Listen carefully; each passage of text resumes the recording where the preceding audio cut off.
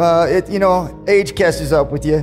But there's a journey behind that um, about how I traveled to get there. And it's not a pretty one. But that journey leads up to me being world champion and then me being here on stage. We want you to be the world's most dangerous man. At five years old, I was born in Warner Robins, Georgia. At five years old, had gotten into some trouble at a very young age. At 10 years old, at strong arm robbery, I had gotten stabbed and probably seven or different robberies. When I ran away, I had to have a means of survival, so I would steal from stores, you know, all the healthy stuff like candy and chips. it didn't take long for Ken to end up in a group home. From the time I was 10 to the time I was 17 years old, I was in placement. But even there, he found it hard to fit in. And seven group homes later, 13-year-old Kenneth Kilpatrick was sent to a home run by Bob Shamrock, who would later adopt him. The one thing that my father did was that he understood there was an issue and he needed to find out what that issue was and figure out what it is that that kid would be interested in. He directed me towards sports. I started going, wow, all that anger and all that people saying I'm going to go nowhere, you know, you're going to go to prison and you're going to die and all these things that were said to me were probably true at that time. But someone had to figure out how to change me, how to direct me in, a, in, in the right direction and not in the wrong direction. And it had to take somebody who cared or somebody who wanted to take the time to find out what that direction was. And that was my father who adopted me. After I was at the home for a while, I ended up becoming a peer counselor, a counselor, and I ran the home. And that was in between me going to college. For years, Ken dominated the sport. He was a feared opponent and quickly rose to the top. And then after that, I went and owned my own group home. And that was in between me being a professional athlete. You know, as far as your mixed martial arts competition, that started off with pancrase. I went over to Japan, and it was my first time over there. There's 13,000 people cheering for me. And I ended up winning the match. It's my first time over there. And when I felt that, that's where my career started. That path led him straight to Ultimate Fighting. Then the UFC came around and I started fighting the UFC and, and there was this guy who wore pajamas.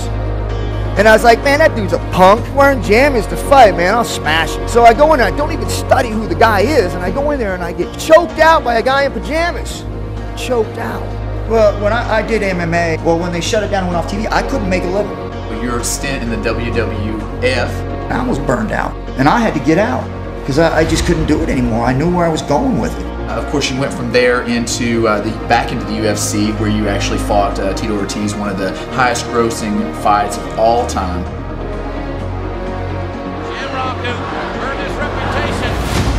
But his wild lifestyle cost him everything. I had a family, I had cars, I had houses, I had everything. I lost what it was that I was doing and where I came from and who I was and what I was trying to do. I lost all that because I had this thing I was going after. But then the other side of the coin was he had a certain amount of uh, uh, character.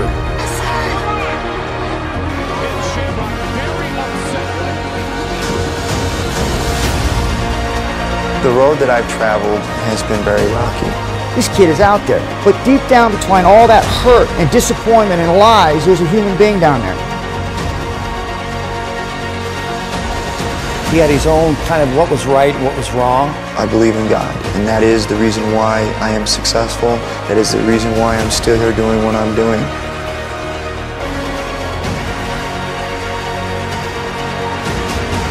I had a broken neck, broken hand, broken wrist, broken foot. If you would have saw me at 10 years old or 13 years old, you'd have turned around and ran the other way.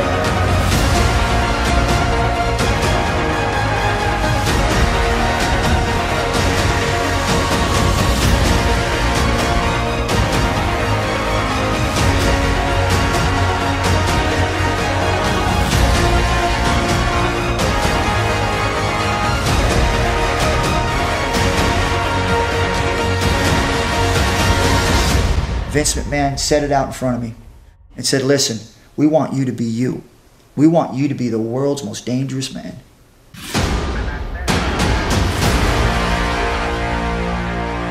You gotta have faith.